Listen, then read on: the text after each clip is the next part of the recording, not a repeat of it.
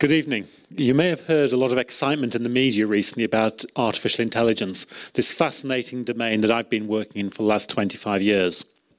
And I want to talk about problems we have when something gets so exciting and achieves so much media interest, it brings with it an expectation, and with that expectation, risk. And when you get this risk, the risk is that people will become disillusioned, and you fall into a period where there is no interest in it anymore. You lose the funding, you lose all the motivation to develop the technology.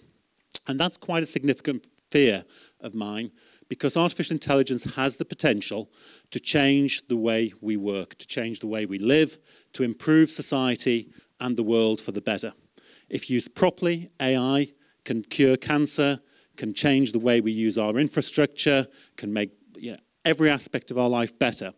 But it's really important that we get it right, and it's really important we don't fall into what we call an artificial intelligence winter. The, the domain of artificial intelligence, the concepts behind it, first started in the 1950s. And since then, there have been numerous periods of excitement, followed by periods of disillusionment. And the two most significant AI winters were between 1974 and 1980, and then between 1987 and 1993. Even between those periods, we've had times when the disillusionment has crept in and we've had cold spells.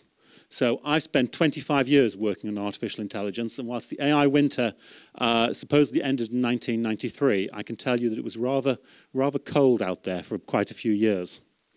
Now, we've got to actually, to avoid the AI winter, we've got to look at the history of what's happened how we can learn lessons from that. But we've also got to listen to the future or look to the future. And I think it's quite important that I should tell you now that, like many people in this room, I have actually created sentient intelligence. Believe it or not, I've actually created two sentient intelligent life forms. Now, apparently, I was the minor player in the, in the creation. Somebody else claims she did a bit more work.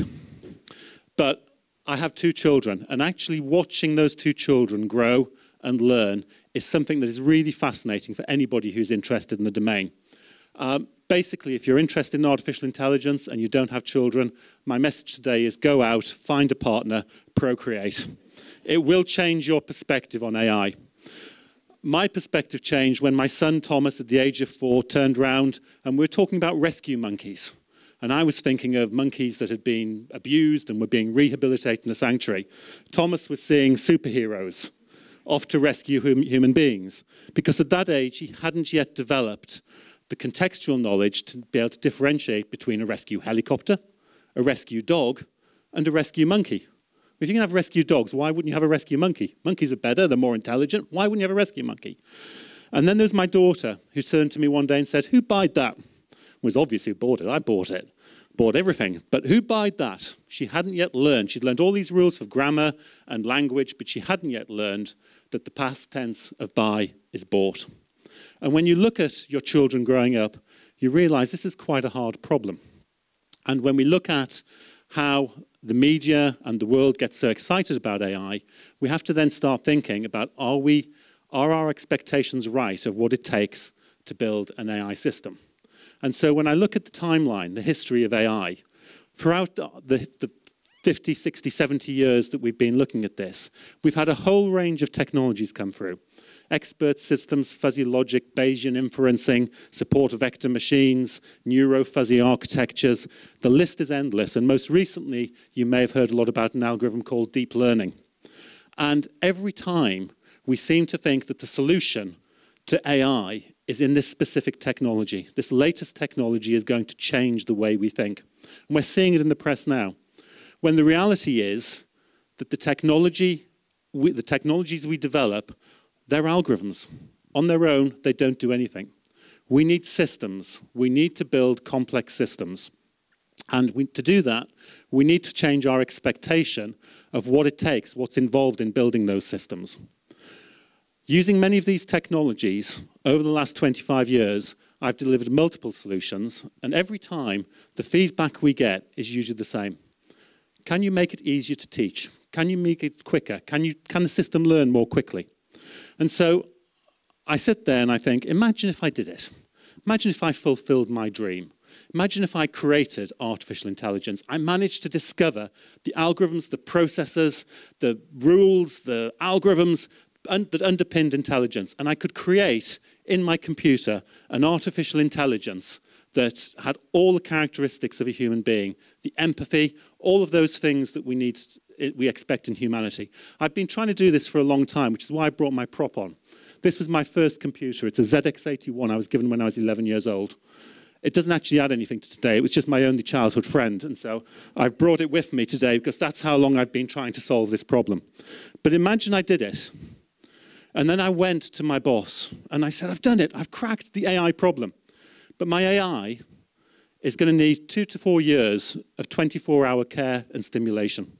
Seven years of primary education, seven years of secondary education, three to four years of university education, five years of post university, and another 12 years of experience before can become a, uh, a hospital consultant. I don't think he'd be very happy. I would love to see the look on the chief financial officer's face when he realizes 35 years to a return on investment. Wonderful stuff. So we need to build complex systems, but we're not going to build it by finding a single algorithm.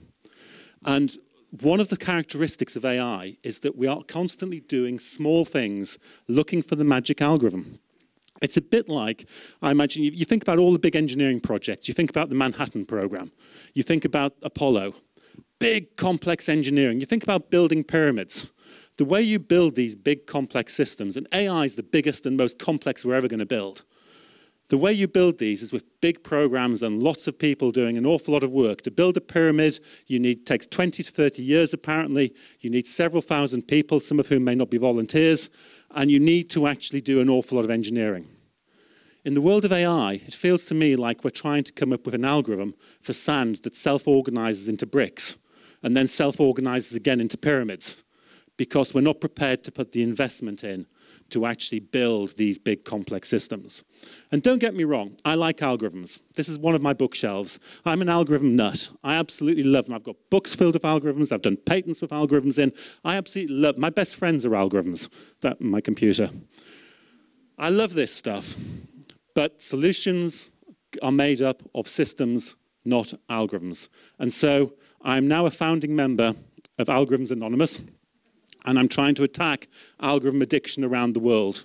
I would like us to actually go out there and start thinking about how we're going to build engineering solutions. And let me give you a real example because the challenge is that people who've been researching AI are not necessarily the best people to apply AI in the real world.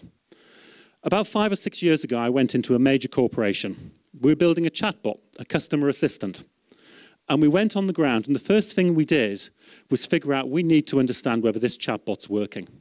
And the way we did that was to take the research methodology. For the experts amongst you, it's called train, test, blind test sets. Don't worry about it if you're not interested in AI. That's just for the YouTube audience. Um, so we actually, we, we took this research methodology and we tried to use it. And you know what? It wasn't actually appropriate. It's a bit like taking a child, putting them in a classroom, in an examination room, and saying, you're not allowed to use a calculator. And then we take them out of that environment and we put them behind a counter and expect them to use a cash register. Now, the two skills are linked, and I think using mental arithmetic is very important. I'm a big advocate of that. But if we're going to want them to use a cash register, we need to evaluate them using a cash register. The train test blind test method is designed to understand whether you can train an algorithm with a small set of data and apply the results to a big set of data. In the environment we were working in, we didn't need that. Our client just wanted the chatbot to give the right answer. And so we needed to change our method. We needed to change our evaluation technique to understand how we were going to apply this in the real world. And that was about engineering. And engineering for me is about taking very complex problems, breaking them down into smaller problems, coming up with solutions to those smaller problems, and then putting those components back together into a complete engineering, into a complete solution. It's a very different discipline. And we actually need, therefore, to develop a whole new breed of engineers called cognitive systems engineers. I'm inventing the name here tonight cognitive systems engineers who understand the technology, they understand the algorithms, but they actually understand how to break these things down, these problems down, and then use those algorithms, put them back together, cleanse the data, prepare it, abstract the problem, the, solution into the right components, and deliver a working system. It's a whole new discipline. But to do that, we've got to deal with something called complexity. And complexity is a huge issue in the field of AI and actually in IT in general because we've been brought up with the belief that complexity is bad, that we don't need complex systems. Building a pyramid is hard because it's complex, but if we made an algorithm to self-build a pyramid, that could be simple and elegant and beautiful. So let's go for the simple, elegant and beautiful. A good example of this was, again, about, well, longer now, 16 years ago. We were building a computer system that had to read documents. Now, learn, teaching a computer to read is quite important. It's a really important part of AI. And we came up with a system where the users could create rules. And we allowed the users to create large numbers of rules to take into account the difference between buyed and bought. That's sort of an example of a rule. And we created this system and allowed the users to do that. And the challenge was that when we actually um, came to, to, to use this technology, it's, it's hard to build these large rule systems. It's hard to maintain them. It's complex. So we overcame that. We produced a solution to that particular problem, and the system we developed is now used by 600 organizations around the world. It's used in law enforcement, it's used in defense, it's used in uh, insurance, it's used in medicine, it's used all over the world. And yet on an almost daily basis, when I talk about that system, AI researchers and engineers come to me and say, it won't work. I said, well, it is working. No, no, no, it can't work. And the reason it can't work is because of the expert system problem. And the expert system problem said if you write lots of rules, the rules will become hard to maintain, difficult to manage. Therefore, don't do it. That was 1970s, and so no one's attempted it since. Well, it's the equivalent of engineer, in engineering, conventional engineering, of saying we can't build a bigger aeroplane because wood's too, too weak and breaks, and steel's too heavy and then deciding that there is a fundamental limit on the size of aeroplanes that we're never going to revisit, despite the fact people invent aluminium and, and carbon fibre and other materials. Engineering is continually evolving, and so we need to, to accept that there are new techniques coming through. So we had a rules-based system. And the individual, and even since then, even though it's working, we have individuals come to us and say, it won't work, you need to use machine learning. I invite them all to join Algorithms Anonymous with me, and we sit down and discuss it. But what we really need to understand is the different techniques work for different problems. There are problems I work on where machine learning, deep learning are, is the right thing to do. But there are other problems where it isn't and where we need to use completely different techniques. Which brings me on to system, the situation of complexity, this issue of complexity. We are brought up as engineers to believe that we should not build complex systems. We are taught in our degree courses that if you build a system with large number of components, they will fail. The chance of failure are high. We are taught that if you use lots of discrete components, the system will be hard to manage and hard to maintain. We are taught that we should build systems with the fewest number of moving parts to improve the reliability. And so if, those, if that's what we should be doing, why do we go out and build nuclear submarines, power stations, aeroplanes? Why do we put space stations up? Why do we build these complex systems? Well, we do it because we can and because people want us to, but we're enabled because we have the methods, the tools, the processes to engineer these complex systems. And we need those tools and processes to engineer complex AI systems. We don't yet have them, nor do we have the cognitive systems engineers to do it. And so the big message I would like you to take away tonight is that artificial intelligence has a huge potential to change lives, to change humanity, society, the world for better. But we've got to ensure that we take this unique opportunity. It's probably the first time in history that we've had the volume of data, the processing power, and the desire to actually exploit this technology. But if we're to do so and to avoid another AI winter, we need to ensure that we actually put in place the engineering skills to build these systems. We need to understand that building AI solutions is going to be the most complex, the biggest, the greatest challenge we've ever faced, but it's one that is solvable today. If we put the right people in place, if we develop these cognitive systems engineers, give them the tools, give them the methods, give them the skills to actually do the job, and above all, have the ambition to go out, take on this challenge, and realize our AI dreams.